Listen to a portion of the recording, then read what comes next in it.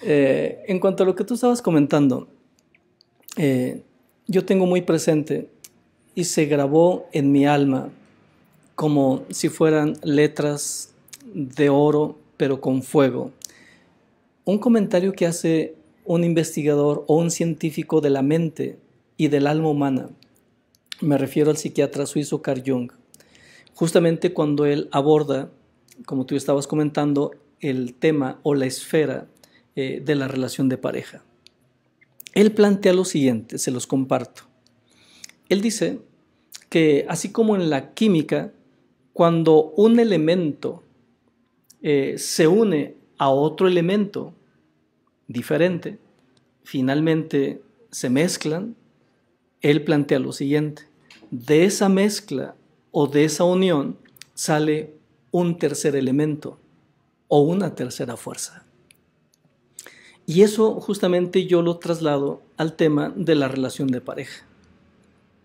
Cuando un hombre y una mujer finalmente crean esos puentes para establecerse firmemente en cuanto a la experiencia de la relación de pareja, ya no es tanto entonces uno u otro, y es una fuerza nueva.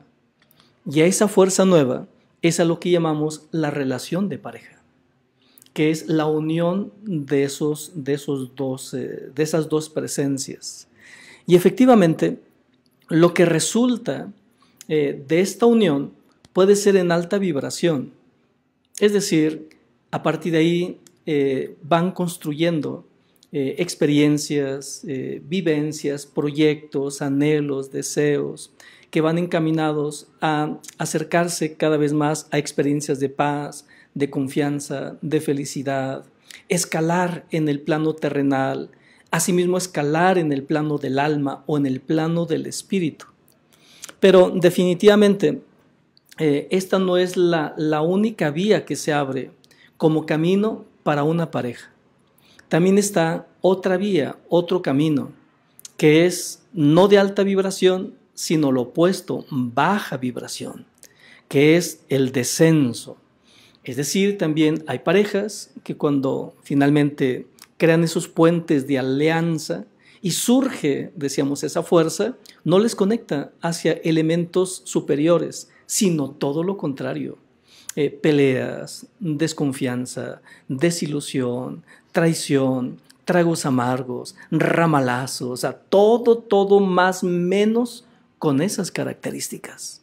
Y es ahí entonces donde, partiendo de esta premisa, llegamos a una comprensión que la relación de pareja, aquellas personas que viven ese momento, no es cualquier cosa, porque eso puede traspasar eh, sus emociones, su mente y literal tocar lo más profundo de su ser o de su propia alma, ya sea hacia arriba, es decir, como experiencias plenas, como experiencias de crecimiento o hacia abajo, experiencias de dolor, de desilusión, que en algunos incluso casos, suficiente una experiencia de adversidad, una experiencia dolorosa, ahora sí para que en lo individual o en ocasiones también a nivel de pareja, literal, se estrellen.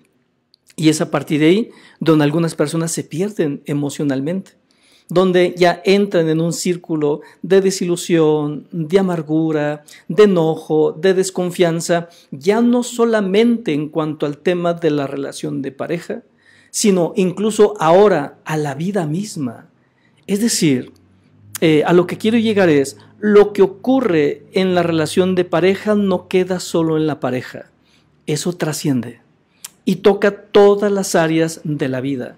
Por esa razón, yo sostengo que cuando una pareja se está construyendo, está eh, conectándose eh, en cuanto a esos valores más elevados, eso al mismo tiempo se va a reflejar en sus proyectos, en su economía, eh, en su propia salud, en las cuestiones materiales. Eso es definitivo. Es decir, no podemos separar de cómo está la pareja eh, como en la relación, a cómo están sus proyectos. En lo personal, encuentro una relación muy estrecha entre una y otra. Si la relación de pareja está mal, lo más seguro es que áreas de la vida también están mal.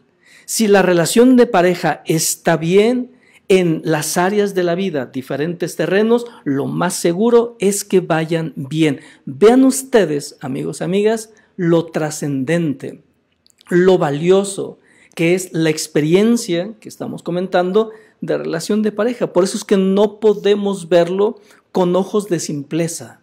No podemos abordarlo como algo, hombre, sin importancia, como algo menor, como algo secundario. Claro que no. Eh, resulta ser la columna o una columna que nos conecta con todas las áreas de la vida en lo terrenal y también nos conecta con la vida del alma a nivel espiritual.